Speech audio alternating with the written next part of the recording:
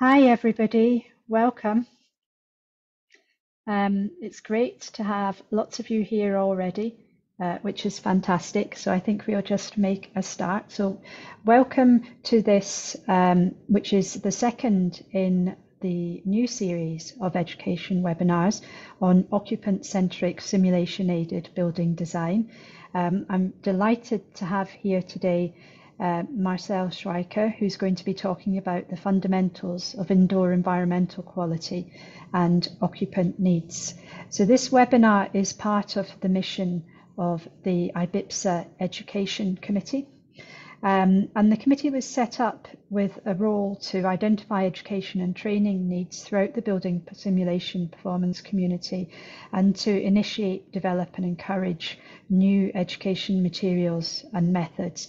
And one of the core parts of what we do is to ensure that the training sessions that we offer are available for members and also for non-members. So welcome, uh, whether you are a member of IBPSA or not, we're delighted to have you here. The format that we're going to be using today is the same as the one that we've used in previous webinars, if you've been here. Uh, so in a minute, I'll invite Marcel to share his screen and to give his presentation. Um, if you have any questions that you'd like to put to Marcel, please use the Q&A box at the bottom of your screen and type your questions in there.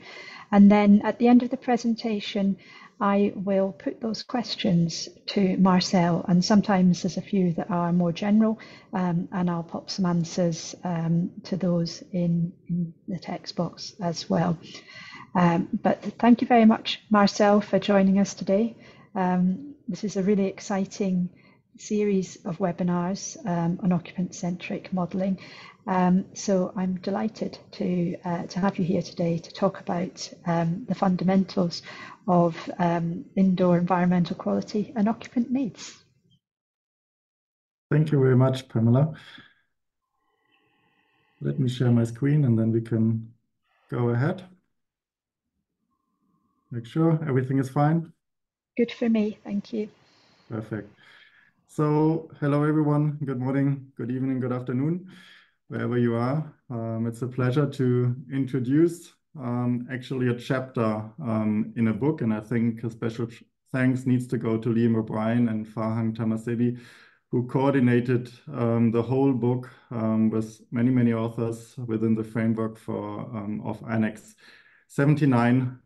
it was a great pleasure to do all this book together, and I think the outcome is definitely worth, and I can really recommend everyone not only to um, go through all of the lectures, which uh, will present individual chapters of this book, um, but also to get the book and read through it in detail.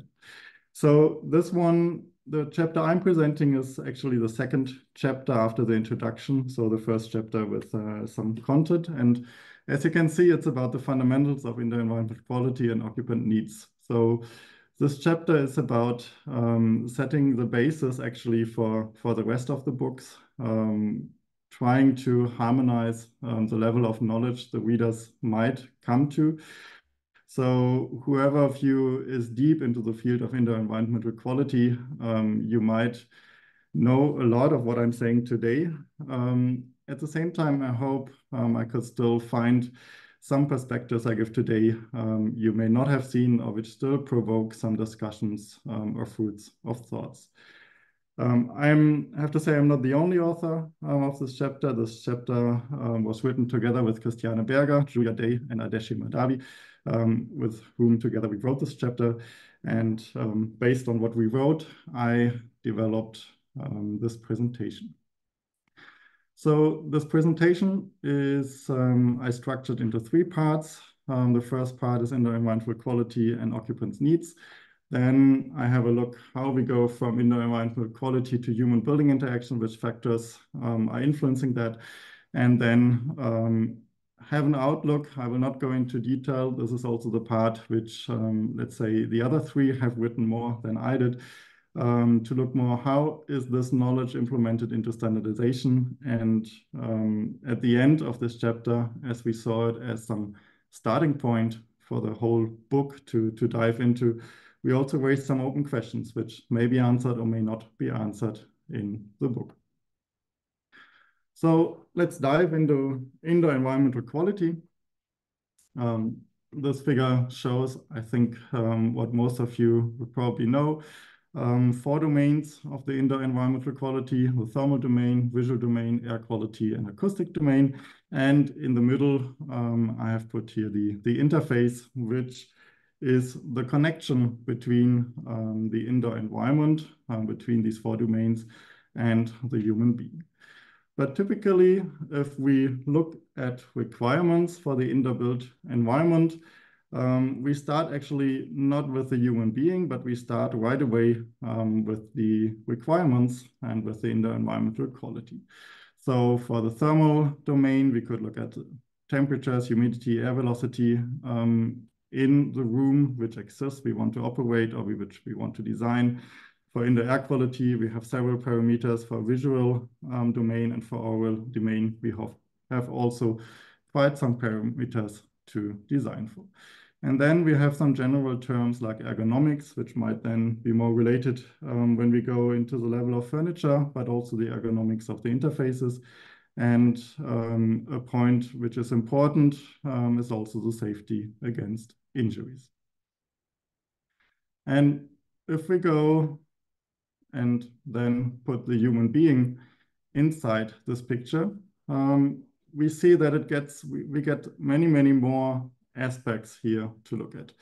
Um, we have the individual person, we have the perception of the person, the behavior of the person, and the interaction of the person with the interface. And in this chapter, we started to ask us the question, um, what is the needs of the occupants if we start from scratch, which we should look at. And we based the factors we found um, on a very classic schema um, from uh, Maslow, which is very widely known, um, quite old, historic. One of the comments um, of the reviewers we got, why do we use such an old schema? Um, because it's still um, these days used quite often to when we want to look at human needs in general. And this is divided into three parts, physiological needs, safety, esteem, and self-actualization. And I will go through these now um, with a little bit more detail to see what we have in each of these different parts. So when we start with the physiological needs, this is the part where we talk about things, um, fundamental um, aspects we need need to provide to the human being, something like air or warmth. And it's important to say that here we are not talking about comfort. Um, we are talking, when we talk about physiological needs, we are talking about first limits of survival. So if we stick to the thermal domain, and I will do this in the examples I give most of the time, um, one, what we know is that um, the difference of, let's say, only four degrees C for Kelvin pure body temperature separates life from death. But we also know that we have um, a wide variety um, of strategies already within our body um, to cope with a wider, much wider range of um, thermal conditions surrounding our body. Through, through, shriveling, through clothing, um, through adjusting metabolic rate, um, adjusting different parts of the heat balance we have, we are able to um, live and survive in quite a long range. And we might think, okay, why do we then need to talk about physiological needs anymore when we are now discussing um, of future buildings we want to design or want to model um, with our simulation? I would like to respond to that question together with the next two points, which is shelter and safety. Because actually we could hope that after um, decades, um, centuries of improving our building construction, our knowledge of building design, we would not have to have this discussion anymore. Um, what, how can we provide shelter um, or warmth for, for survivability? But um, things are changing these days. There are new challenges arising, and it seems that um, in parts we are not prepared to that. This is the figure um, from around um, September, October this year, published in Nature, showing um, the latest um, global average temperatures. And as you can clearly see, 2023 is on top of all of this. Um, of course, we have um, some additional heating effects this year, but in general, we will be facing more and more warm conditions. And we need to talk again, unfortunately, when we look at what is the buildings which exist these days, also about survival. This is a study um, which made it into New York Times in the summer 2021, which defined or which said, mentioned that the combination of blackout and extreme heat may be the deadliest climate-related event we can imagine. And the reason is that um, buildings, many buildings um, these days, they are designed um, to keep conditions in a survival range with a high amount of energy, with high amount of electricity, um, being completely dependent on active conditioning system um, and all the knowledge, um, a lot of the knowledge we have from previous time how to make um, buildings comfortable without um, high energy use um, has been abandoned and we have huge glazing skyscrapers without any solar shading. And if all of these need energy for cooling in summer um, and the electric grid is not that stable, we might face a blackout. And in this cases, in these circumstances, um, it would be recommended to better leave the building because if you don't have any passive shading devices and no electricity anymore, um, it might not be about comfort or satisfaction in the building. It might be for some people um, about survival. So instead of safety, we are creating danger inside the buildings. Luckily, I would say we know how to cope with that. And um, if you do a recent decent design and you know what to do, you will avoid that. So we can talk about other things which go beyond physiological, physiological needs. And if we look at um, the point of safety, um, we have different subcategories um, in between them. So we have points like emotional security, health, um, and well-being. And especially the last twos, um, I would say they are um, mentioned in, in many instances. Um, many people now talking about healthy buildings, about promoting well-being in buildings and so on.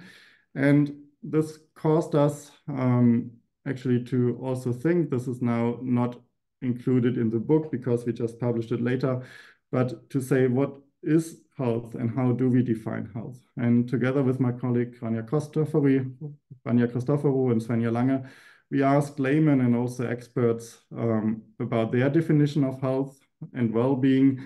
And I would like to add this here as a, to see what is our understanding of health and well-being. And I'm, I'm really happy or would be happy if people challenge this definition and come up with their own definition, but to be sure that we are transparent around what is health and what is well-being and maybe also comfort.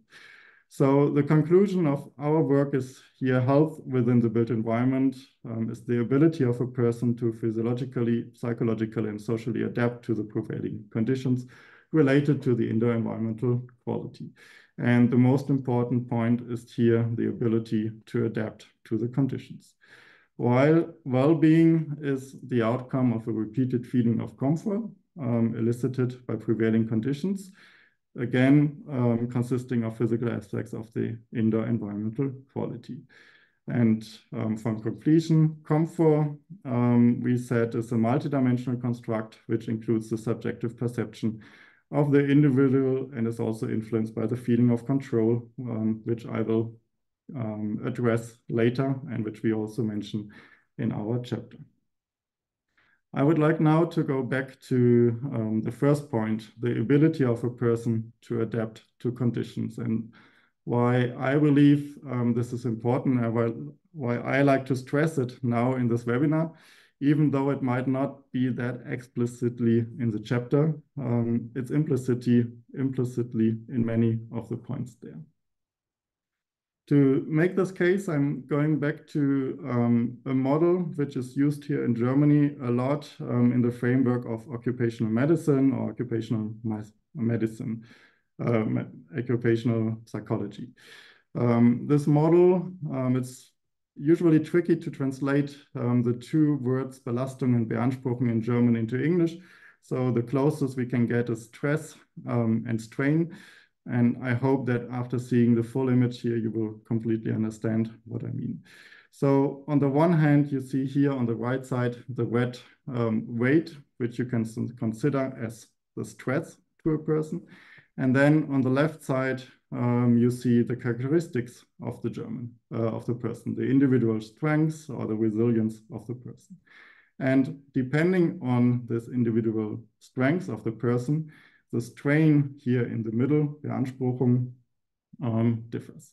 And um, if you see now the full picture, um, I think it's very easy to understand depending on the strength of the person. The left one quite strong, quite adapted to the conditions.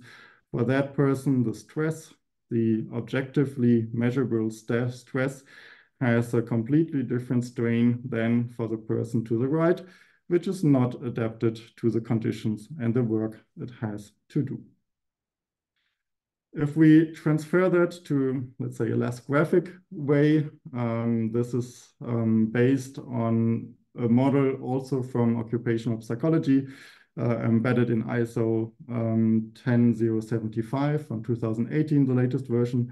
Um, you see that all the influences on the human person inside the building, the workload it has, the physical, indoor environmental quality, social and organizational conditions, as well as societal factors, they all um, lead to a certain level of stress to that person. That's something outside the person, um, which in many cases we can objectively assess. Then we have the individual characteristics, um, the abilities of the person, also the attitudes of the person towards the stressor, and also the physical constitution of the person. And all these characteristics of the person decide what strain the person will really perceive depending on the stress. And then um, the strain can lead to adverse effects, um, short-term or long-term weakening, um, or even diseases. And due to this, these potential adverse effects, um, most of the time when we talk about indoor environmental quality and also conditions we need to standardize, um, we are talking about how can we avoid these um, conditions which lead to a strain and to adverse effects. And how can we relieve the person from, um, from these um, exposures um, leading to an adverse effect. I have to say there's nothing against relief. Um, relief is nice. Maybe some of you would like to be in this position right now rather than listening to me. Maybe some of you even are right now in this position um, while listening to me. So it's nice to have a relief. But the question is um, whether it's really healthy um, and leading to our well-being when we are always in this position. When you're always um, not being exposed um, to any stressor. Um, science shows that um, for, for many other aspects like sports, um, like food, like nutrition, that your body will degenerate to a certain extent. So relief is good, um, but there might be more than relief. And if we now complete the full picture of this model, um, of occupational psychology, there's a second pathway because not necessarily um, do we see that a strain is leading to an adverse effect. It could also be that the strain is having a stimulating effect and that in the short or long term, the strain is strengthening um, the person um, either physiologically or psychologically. And um, it would be good if we um, are trying to see um, which factors are really stimulating people and how can we design buildings and operate buildings in a way that we are not only concerned about the adverse effects, but looking more at the stimulating effect. And I'm happy to see that there's more and more research um, being published recently which is going in this direction to looking more at the factors of the stimulating effects. There's a lot of knowledge that this is not um, just theory, but that also in practice, the human body can adapt to quite a lot of conditions. Um, I have shown here um, the example of um, physiological um, acclimatization to heat, um, a review from the year 2015 from Périard, where they summarize um, the corresponding effects if a body is repeatedly exposed to hot conditions. I have to say here, um, this I would say fast and also um, in its extent, um, large effects is not just by sitting in a warm office. Um, here in this case, in these studies, it's usually um, people who are doing sports in warm conditions, um, soldiers or sportlers, sportler who are exposed to warm conditions. But there are also studies um, now, um, many here from colleagues across the border from Aachen, where I'm now um, currently being in Maastricht, um, showing that also with mild warm conditions, you can establish some adaptation to heat. And the important point is here that um, these physiological changes um, also lead to improvements in human perception, human comfort, and well-being. So if you look here, for example, at the black line for thermal comfort in the figure, you will see that um, together with the physiological acclimatization, also psychological perception of the warm condition um, increases and the person will feel less hot in, um, in the same condition as a non-acclimatized person.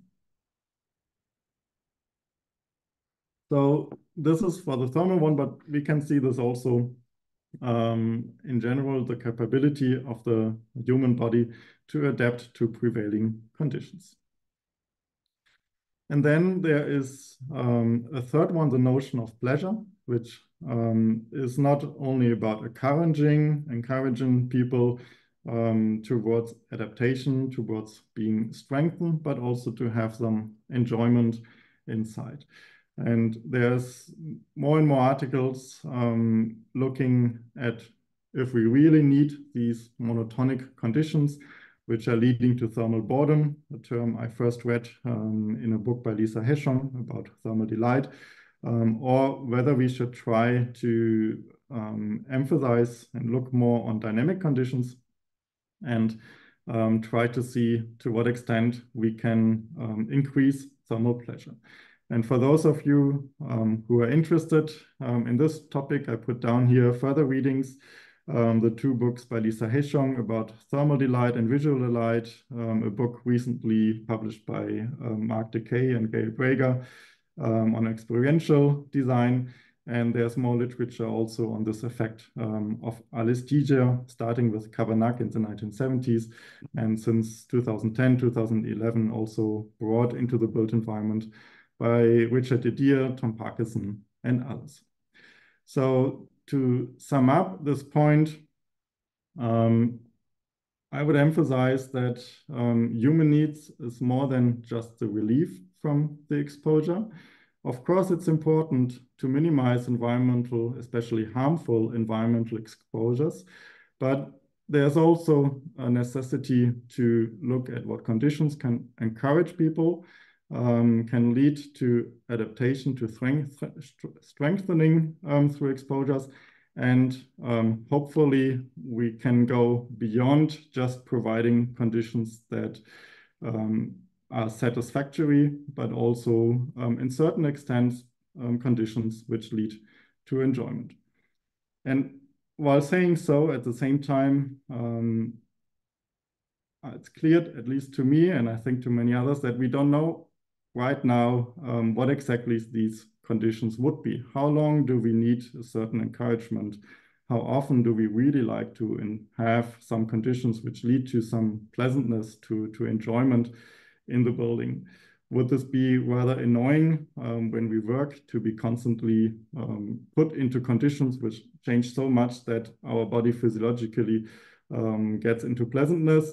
Um, or do we need these exposures only at certain times or certain moments. Um, I think that's a big gap we have um, after all these long decades of researching um, what is the interaction between the um, indoor environmental quality and the needs of the human beings, which hopefully we can tackle um, in the future. And this is getting, when we want to look at the design of building and preparation of building, there are certain points which make this notion even more complex. Um, the first one is, and um, I have to get, give credit here to um, Gail Brager. Um, I kind of visualized a comment she made in one of her talks. Um, the same stimuli can be pleasant um, and exciting. So I usually ask this when I would see people who of you would like to likes eating fruit salad and believes that fruit salad is could be some healthy nutrition. and most of the people um, would say, yes, um, I do like eating fruit salad and it's very nice to eat it. And um, I also consider it as a healthy fruit. There are, of course, also some who don't like fruit salad, but that's uh, fair enough. But the question is, um, what about the same stimuli, the fruit salad, for a complete week, um, a complete month, complete year, or yeah, throughout your whole life? Um, if you always have to eat fruit salad and nothing else, then I think the same stimuli, the same fruit salad, at some point would not be pleasant anymore. At some point, it would not be encouraging you, um, and you would also not like it. And we can also discuss whether it's healthy to eat fruit salad year, year, year long. Um, so the same stimuli um, in its quantity um, can be stimulating, can be enjoying, but also can be role, um, boring um, or even leading to adverse effects, depending also on its doses. The next point I would like um, related to the role of perceived control, um, as we do see that in many standards um, and in many simulations, um, the role of perceived control is um, underexplored. Um, it's not mentioned so often or incorporated, and there actually also hardly any ways to model perceived control. But just to make the case here, I would like to give an um, example of a study I did um, some 80 years ago while I was still in Karlsruhe where we looked at the effect of the number of persons per office um, on physiological and psychological reactions. And actually, that's what we wanted to do. We wanted to look what is the effect of the number of persons per office, but at the end, we found out something different. So in this study, we had three randomized um, conditions. Um, people were either assigned to a single person office, two person office, or a four person office. All else was kept um, the same. And we even um, designed an interface um, for the people so that they don't have to get up to open the window, to start the ceiling fan, start the lighting, um, or lower the blinds. And um, we wanted to see what is the difference between the number of persons in the office. And what we actually saw is that the main difference between um, the conditions we had was the perceived control of the persons. Even though they had objectively exactly the same control, um, they just needed a mouse click um, to open the window, to lower the blinds, um, or to use a ceiling fan. But their perceived level of um, control, as you can see here on the left side, between A1, the single office, and A2 and A4 was significantly reduced um, with other persons inside the room. And furthermore, we could see slight effects on thermal sensation votes. Um, even after, let's say, harmonizing the thermal conditions um, in these offices, we could see that in the four-person office, people um, significantly found um, evaluated the room hotter than um, in the single-person office. And interestingly, um, we could see that there are different groups. Um, groups defined by to what extent other people affect their own level of perceived control. Um, you see this here on the left side. Um, there's the green group. um, the green group, which between a single person office and a four person office, um, the level of perceived control was one um, unit on the scale from one to seven lower in the four person office than in the one person office. So hardly any change. Um, a person which still feels having a lot of control in the room with three other persons inside. But then we also had the other group, um, which had a dramatic decrease in perceived control with the number of persons, um, starting at five being when being in a single person office, going down to um, a level of two in, in the four person office. And interestingly, we could see that if we calculate the neutral operative temperatures of the persons, so the temperature, the operative temperature at which they would say they would have a neutral vote, we could see that the group um, which was hardly affected by the persons, uh, by the other persons, the green one, um, also the neutral temperature was hardly affected, while for the other group, we had a decrease um, in the operative temperature, meaning an increased cooling demand, um, talking here about summer studies, um, of roughly 0.7, 0.8 Kelvin.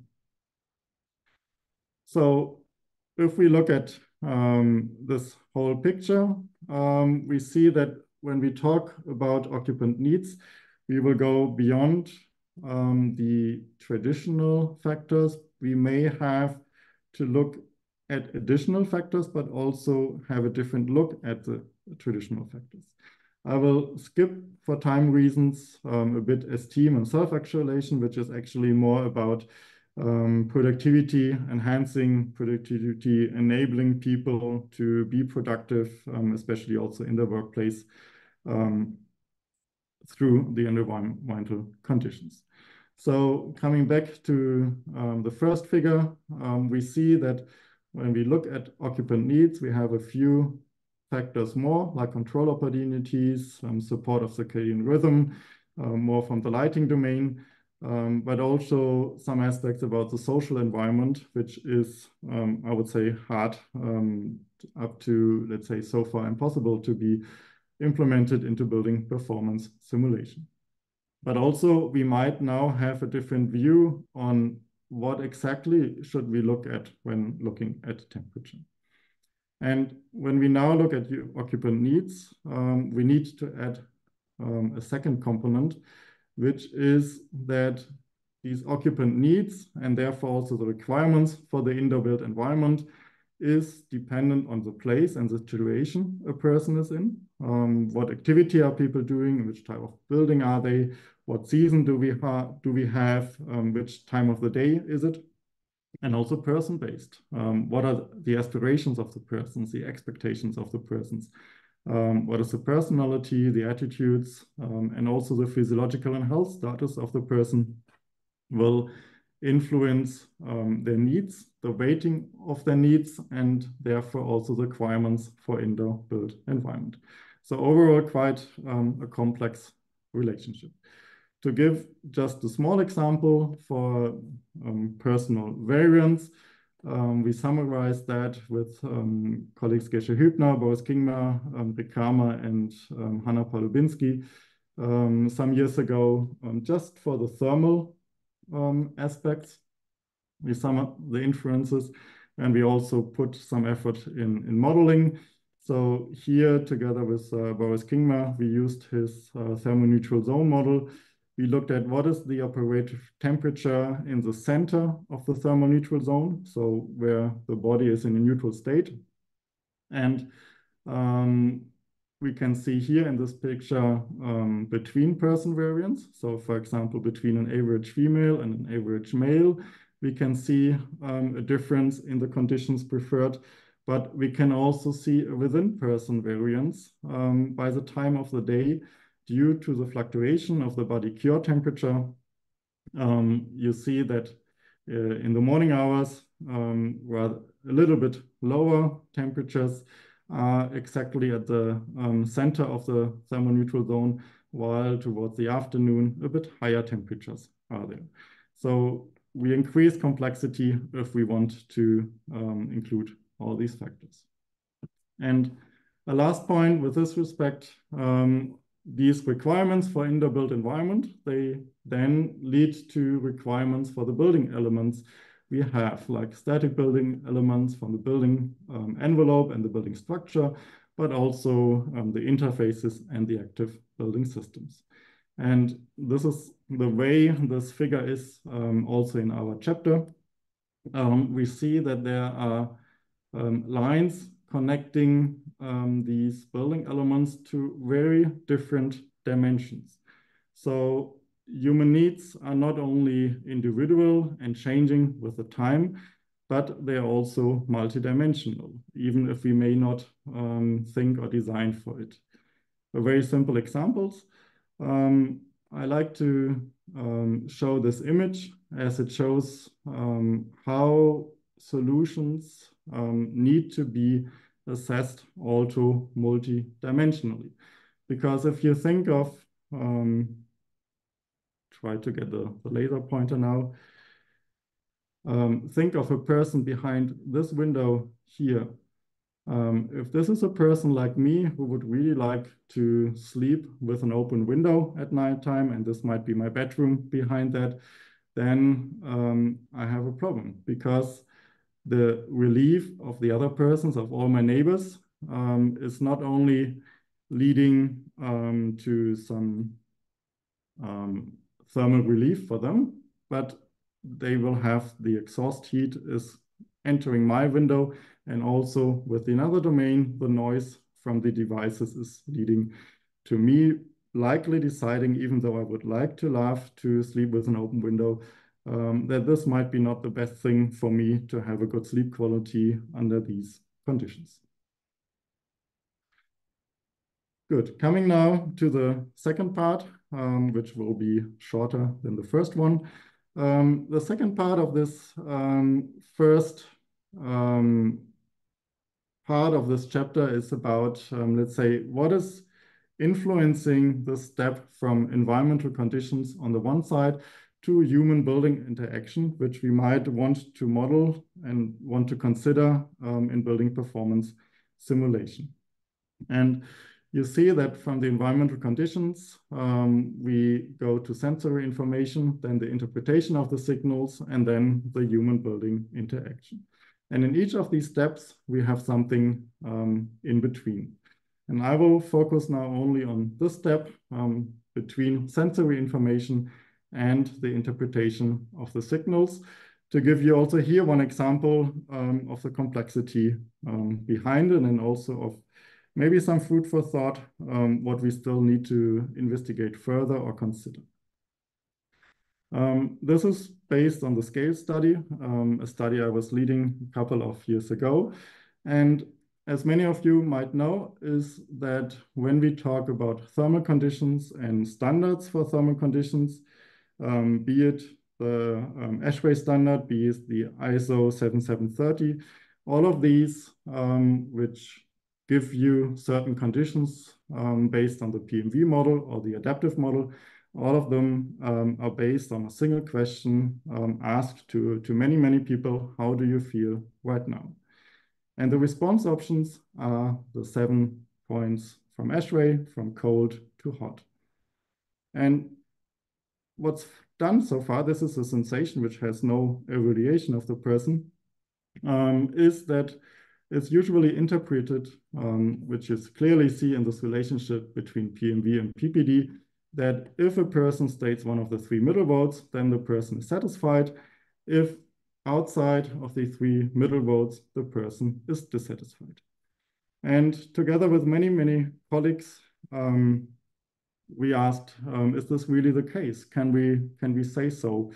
Um, this sensation, is this really mapped to a satisfaction value in this way um, so clearly? So we designed a bit atypical questionnaire um, in, with, in the field of thermal uh, comfort. And we asked people not how do you feel right now? We asked um, when I feel cold, this is and gave them the task to, to draw this um, on a line. So to show this, how this would look like, we would have this line from comfortable to extremely uncomfortable um, in a printed version, 10 centimeters long. Um, and then the persons were asked, okay, um, A, cold, where do you put it on this line? Um, for example, close to extremely uncomfortable. B, cool, might be a bit more comfortable. And if you do this for all the seven um, labels, you get a picture um, here for this person, for example, D, neither warm nor cool would be the most comfortable, followed by slightly warm, slightly cool.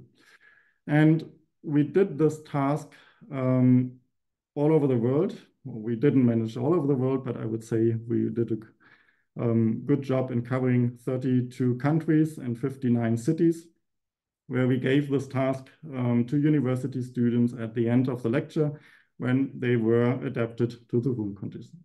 And you see here the red dots is the dots of the cities um, where this questionnaire was applied. And the blue dot is um, where the country or the, the towns, the people who participated in the study came from. And in total, with this procedure, um, low cost, um, collaborative work um, between more than 90 researchers in the field of thermal comfort, we collected um, more than 8,000 data points. Then we anal analyzed them, um, and this is how the analysis um, would look like. Sorry, the left part is a bit cut off. So basically, you see here on the x-axis um, the different votes. Um, you see here neutral, um, the box plot closest to comfortable. Then we have slightly cool, slightly warm being um, the next ones, and so on up to cold and hot um, being furthest away from comfortable. So you could say, okay, this looks exactly um, how the predictions are. The middle three votes um, are perceived as comfortable, and the other ones are slightly uncom uncomfortable or beyond. Um, I wouldn't show this if I wouldn't have a different answer to that, because this is only one group um, which came out in a statistical cluster analysis. Uh, this is subgroup two, the numbering is by chance, consisting of less than one-fourth um, of the respondents. If you look at all groups, um, you see that we have quite a variety how people um, map these sensations to um, the comfortable conditions. Um, you see here subgroup one, which is more inclined to say, okay, slightly warm, warm is something which where I would feel comfortable. Subgroup four, which is more towards slightly cool, even cold would be something very comfortable.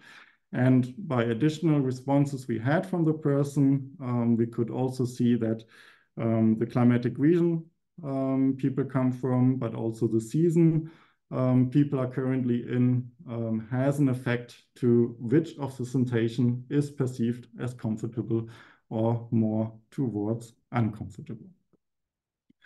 So um, you see that in this point between um, sensory information and the interpretation, interpretation of signals, um, we have personal factors, context, contextual factors, which influence how we interpret the signals. And just to brief, give a very brief glimpse um, on this one, on the interpretation of signal to human behavior, um, that's actually um, outcome of the previous annex, um, the previous annex book from Annex 69, um, where we had a chapter where we summarized all the influences on occupant behavior um, together um, with certain colleagues. And I will not go into detail here, but you can see that also here we have quite a number of um, influences. So um, summarizing this part, um, there again, we have quite a complex relationship between the indoor environment and the human being. To just um, give a small glimpse what you would also expect when you read this full chapter.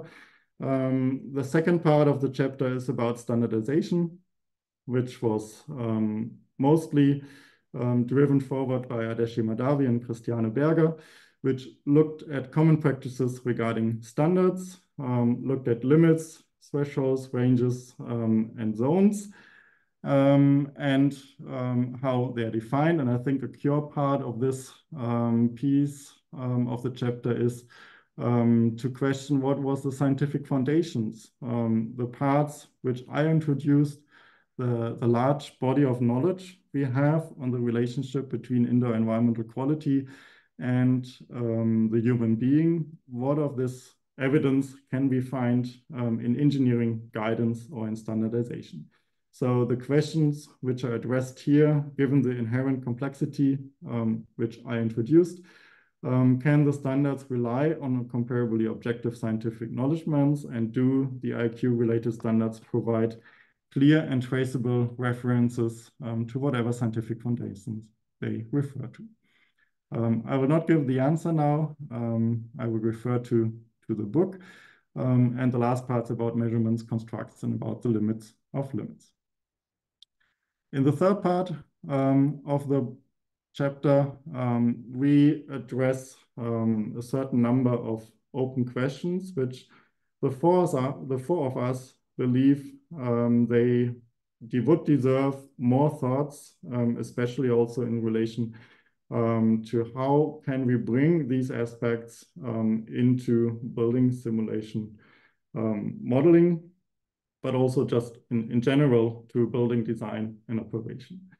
The first one um, is the point of adaptive thermal comfort, of perceived control, um, also personalized control, which I um, partly um, introduced as at least the aspect of perceived control. Um, and the question, um, how can we better account for adaptation? adaptation both physiologically, but also psychological adaptation and, and also how can we account for non-physical factors like the atmosphere, um, like aspects like perceived control or personal control in modeling. Um, small star here to one approach which I introduced some years ago, um, but there's definitely a lot of space to, to improve this. Then we have this general balance between manual um, and automated control um, which we can also need to tackle more. And I see Pamela showing her face. So I will, I'm close to finishing. There are only two more um, bullet points on this slide, which is the last one before the summary. Um, the second open question is um, the effect um, of occupant interactions with building controls um, on energy use in real testbed building scenarios. So the interaction with, with between indoor environmental quality, energy, and human building interactions.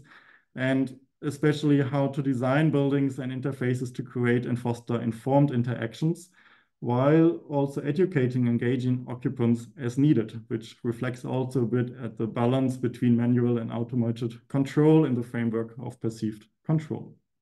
And the last point is the interaction among indoor environmental quality domains. The example I've gave with the active air conditioning system which is leading to relief of one person, but leading to thermal stress um, and also acoustic stress for another person. And then the question, how do we prioritize different IEQ domains in design and operation?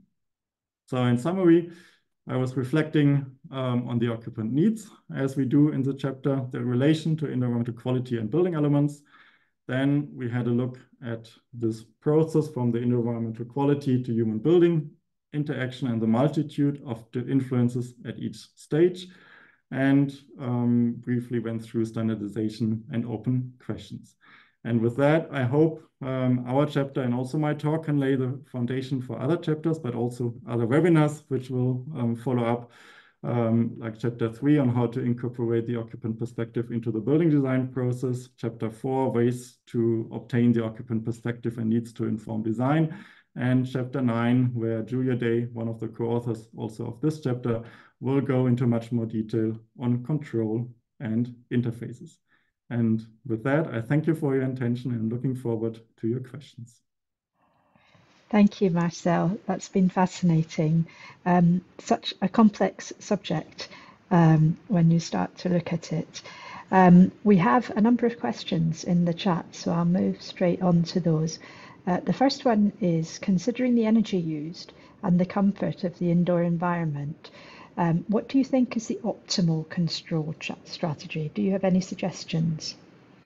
That's a very tricky question. I think um, what is the essence of my talk that's there's likely no optimal control strategy for everyone. Um, as we have so many influences um, from the individual being, um, from the building itself, um, what possibilities we have to control and not.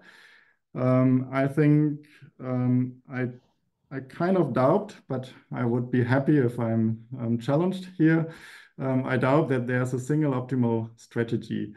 I think um, a way forward would be to, to look at strategies which sort of combine, let's say, basic requirements um, for, let's say, the majority of people, but then give individual persons the possibility to adjust the conditions um, to their own individual needs.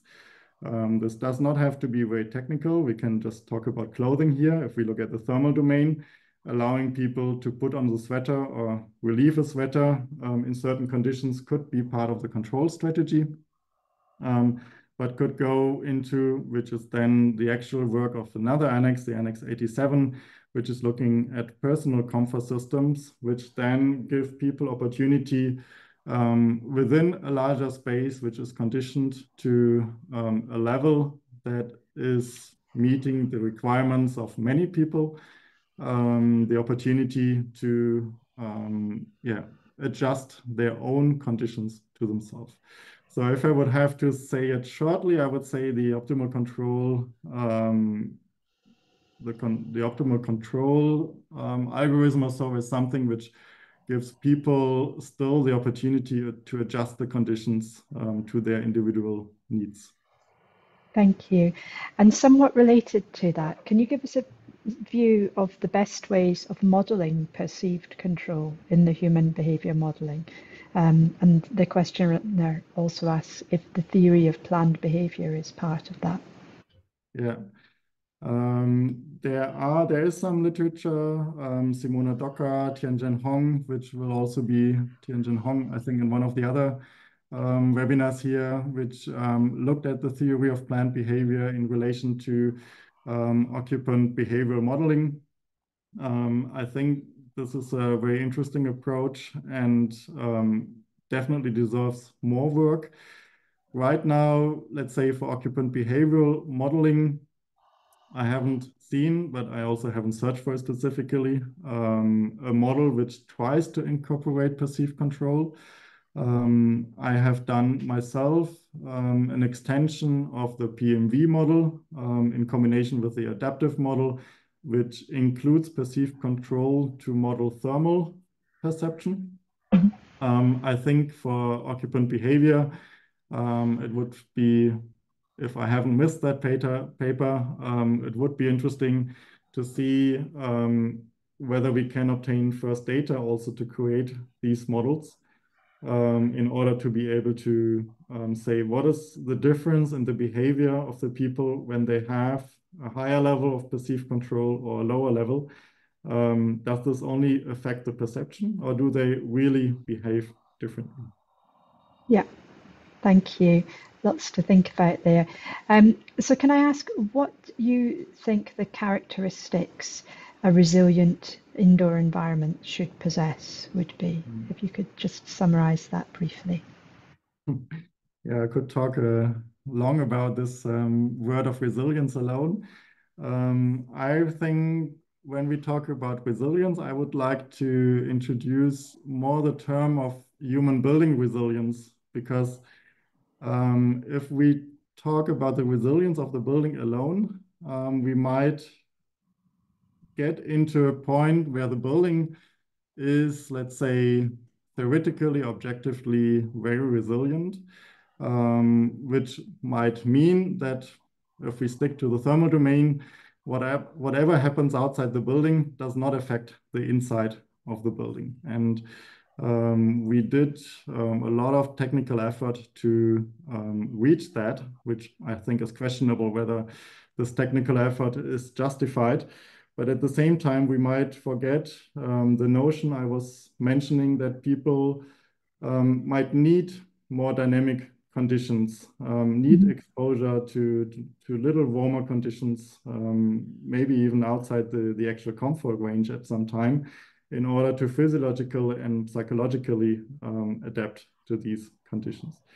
So um, in simple terms, um, I think um, a simple not not in terms of um, like simplified, but um, a robust design, in my opinion, um, would be a rather less complex design. Mm -hmm. The more complexity we bring into it, the more can get wrong. Um, so if we manage to have robust design, which starts from architectural thoughts on passive measures, which do not require a lot of maintenance, um, then I think we go into the direction of resilience of the building. Um, and if we then consider also the human being and the needs of the human being to um, have certain exposures, um, then this could be a way forward. Thank you. I think we've got time for one final question. Um, I'm afraid that does mean we'll leave a few unanswered, but perhaps we can continue the discussion um, on LinkedIn and um, and other methods methods as well. Um, do you know if the different personas might have different perceptions about their human building interactions along the range of the three dimensions you mentioned earlier? Mm. Well, I, I haven't done a study on it, but I'm pretty sure that there are um, different personas and different dimensions. Um, we had a look, this was also during my time in Karlsruhe, um, at different personality traits, um, if a person is more introvert or more extrovert, um, whether this changes um, how they interact with the building. And we found differences in behavioral profiles of them, but also in profiles, how they perceive certain conditions.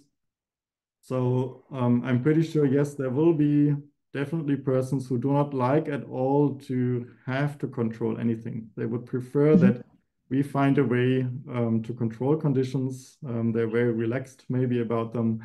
Um, they don't want to interfere with the building, uh, which could be one extreme. Um, and on the other side, there are people who would hate to be controlled um, or who do not like to have experiences outside of they what they would expect. Um, there are also different personas, some which um, I think you can transfer many, many things also from outside IEQ domain um, to look at how um, preferences of, of people um, vary. Um, for example, in adventure seeking, some mm-hmm. for them bungee jumping is kind of boring others uh, would never do it. I think we, we have the same humans, humans also in the building, and therefore this topic is so exciting um, and interesting, at least for me from the research perspective. At the same time, also quite complex if you want to design buildings um, and operate buildings which account for all of this. Thank you. That's been absolutely fascinating, and thank you for answering so many questions. I think it's testament to what a rich and interesting discussion that was that we have had so many. Um, so we will try to address those as well. But just before we finish, I'd like to um, remind everybody about what's coming up. So, chapter three is the subject of the next webinar, um, and that's coming up very soon on the 26th of February um, with Clarice Bleil de Souza. Now, you should get an email after this webinar, which will give you the sign up links for all of these. So please do um, register for those um, and come along um, to as many as you're able to. We also are running um, another series alongside this, which is on urban building energy modelling, now moving into a phase where we're focusing on explorations of the tools, their capabilities, some case studies. The next one of those is on the 5th of March with Christoph Reinhart. Um, and then we have CitySim uh, coming up as well, and you can use the QR codes there to sign up for those two as well. And um, if you miss any of those, but you would like to catch up, the recording for this webinar and for all the other webinars will be on our YouTube channel, which is at IBPSA University. Um, so do please check it out. There is an absolute wealth of content there, as pretty much a full education in building performance simulation um, from absolutely the leading experts around the world, um, which is well worth checking out. And then finally, I know Valentine's Day has passed, but perhaps you forgot it and you're in the doghouse and you need to find a gift for that special someone in your life. Uh, and what could be better than an IBPSA supporting membership. Um, so IBPSA um, is very much um, a voluntary organisation. You're very welcome to join us without being a supporting member. But the supporting members are fantastic because what they do is they enable us to put on um, events like these webinars and, and many other things. And, and in return, you get uh, a subscription to the Journal of Building Performance Simulation, um, either a print subscription or an online um, access depending which subscription you choose, and the right to use um, the IBPSA supporting member logo. The fees for this remain unchanged for about the last five years, so it's still exceptionally good value. Um, do sign up now before someone notices that um, and changes it. But I think that's really all we've got time for. So thank you once again, Marcel. That was excellent. Um, such an education. Thank you very much. Um, and I do look forward to seeing everybody else uh, back online with Clarice. Thank you. Bye. Thank you, Pamela, and thank you all for listening.